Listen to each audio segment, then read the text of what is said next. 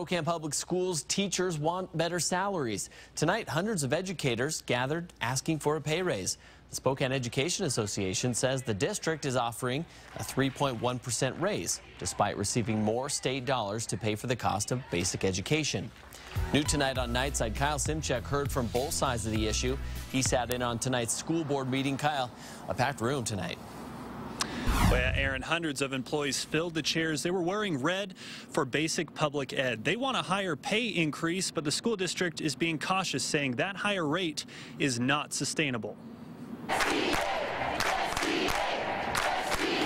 Spilling into the streets, hundreds of teachers rallied outside the Spokane Public Schools building, some holding signs, others holding their own children, demanding higher pay. We want the most qualified staff working with our students, and you do that by offering competitive salaries. Starting this year, every school district in Washington will receive more state funding to pay for basic education costs, like teacher salaries. Spokane Public Schools will receive about $30 million. Our focus is really in ensuring that that money is going into educator salaries as it was intended. Katie Henry, president of the Spokane Education Association, says the school district is offering a 3.1% pay raise, a number she says is too low. Teachers obviously are our most valuable asset. They're in the classrooms, they, they teach our kids. School spokesman Brian Coddington says the McCleary ruling presents a number of complicated issues. State dollars will replace levy dollars in paying salaries. What happens in Spokane Public Schools, for example, is over two years, there's $45 million worth of lost levy capacity. About 60% of our levy capacity goes away locally. And so that's the discussion is how do you,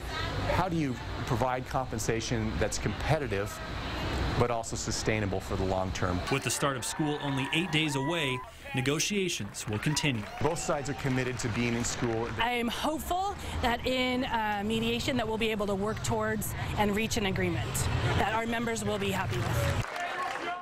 And right now, the average Spokane teacher salary is slightly above the state average of $71,711. Teachers plan to picket tomorrow outside the district building.